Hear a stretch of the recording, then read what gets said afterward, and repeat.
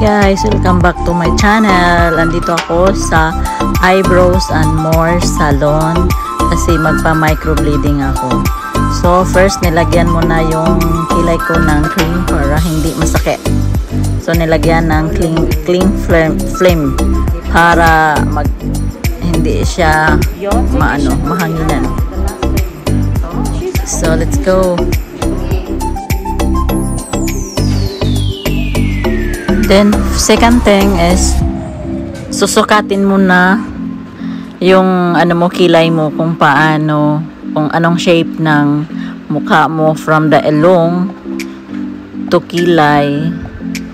Kaya, may mga line-line dyan sa mukha ko after ng measurement ng kilay ko.